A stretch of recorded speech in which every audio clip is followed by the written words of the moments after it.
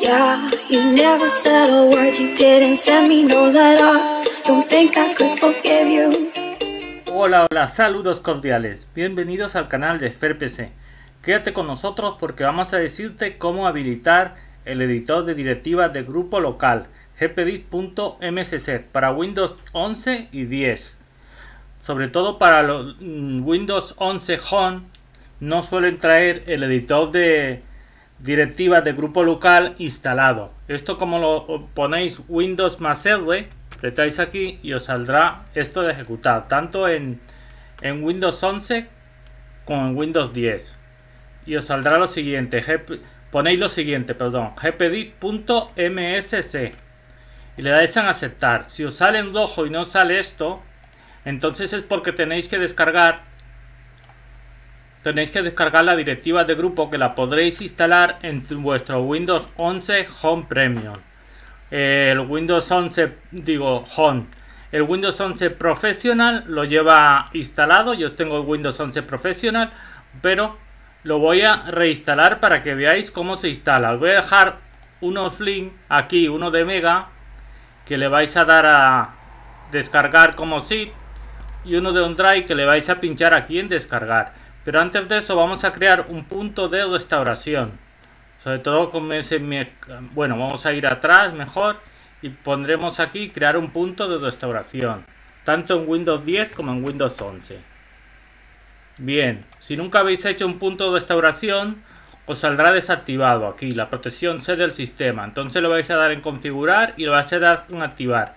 Aquí pondréis unos gigas, os pondrá los gigas usados, 5 gigas usados y tengo 24 gigas. Esto lo podéis dar más o menos. Mientras más, más puntos de restauración tendréis. Esto vendrá bien para volver en la para volver atrás por si os falla cualquier cosa. Una vez activado, iríais aquí a crear y pondríamos antes de instalar gpdit.msc ya que yo, aunque lo tengo instalado, lo voy a sobreescribir y por si tenéis cualquier problema podéis volver a ese tiempo, a ese estado sin ningún tipo de problema. Ya os digo que esto es para los ordenadores que no sale que tengáis el gpdist activado. Si ponéis gpdist.msc os sale la directiva de grupo local. Aquí elegiríais, por ejemplo, otro punto de restauración, le diríais el siguiente y aquí veríais los, puntos de restauración que tenemos. Antes de instalar, instalador de módulos, aquí mostraríais más puntos de restauración. Veis como tengo más puntos de restauración que yo podría llevar a mi ordenador a ese estado simplemente poniéndome en el que sea y dándole a siguiente. Bien, una vez que ya tenemos el punto de restauración vais a ir a descargar. Si es de OneDrive vais a descargar aquí y se os pondrá a descargar aquí. Si es de Mega le vais a dar a descargar como zip y se os pondrá a descargar aquí. Cualquiera de los dos archivos os va a servir, pero bien, ya que tenemos este comprimido, vamos a dar a descomprimir a este. Vamos atrás y le damos a extraer en con WinRAR. Y digamos que es un archivo con extensión .bat. Aquí nos sale otra vez otro instalador. Por lo tanto le damos a aceptar para descomprimirlo. Y simplemente tenemos que ejecutar este archivo como administrador. Pero según tengo entendido tenéis que desactivar vuestro antivirus. Entonces vais a la configuración. Si tenéis otro antivirus aparte de Windows Defender lo vais a desactivar. ¿por qué? pues no lo sé pero vais a ir a área de protección e seguridad y amenazas a administrar la configuración y vais a desactivar todo esto para que no se interponga en la realización de lo que va a hacer el programa. Una vez que ya lo tenéis desactivado ya lo podemos cerrar y vamos a ejecutar el archivo como administrador. Le damos a ejecutar como administrador, le diremos si cuando nos salga y empieza a agregar paquetes de Windows, grupo Complex Client Package, vale para Windows 11 y Windows 10. Esperamos, ahí vemos el 70,5%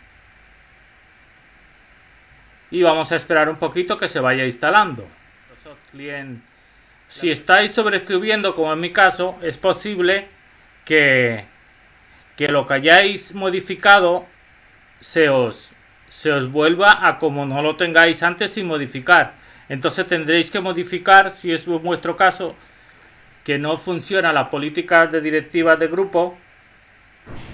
También la podéis hacer una reinstalación para vuestro Windows, pero que sepáis que tenéis que ir a directivas de grupo local y comprobar que no, sea, que no se ha modificado lo que ya habíais modificado. Por ejemplo, ¿qué podemos hacer con este programa, eh, con esta aplicación?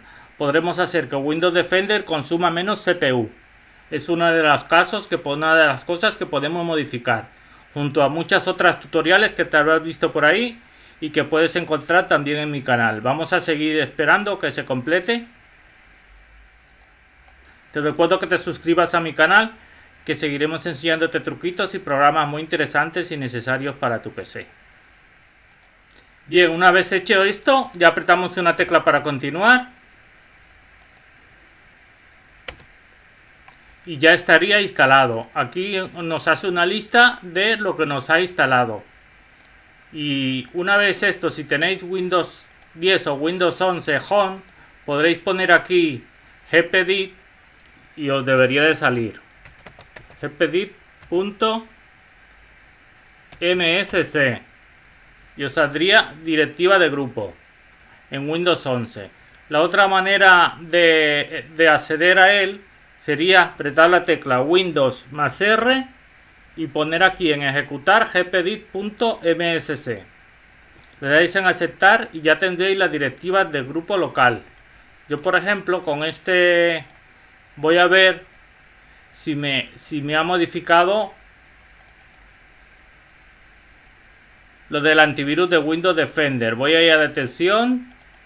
Con esto lo que voy a hacer vemos que está habilitada especificar el porcentaje de CPU máximo de, de Windows Defender, en la cual me lo ha dejado igual, me lo he sobrescrito y tengo un valor de 5 y se puede establecer un valor de 5 a 50. Con esto que vais a hacer, vais a conseguir que vuestro Windows Defender consuma menos recursos. Por cierto, ya podremos activar nuestro Windows Defender que para que no nos dé error simplemente tendríamos que hacer eso. Vamos a ir a configuración, privacidad y seguridad y seguridad de Windows. Recuerda que si tienes otro antivirus, Windows Defender se te va a desactivar.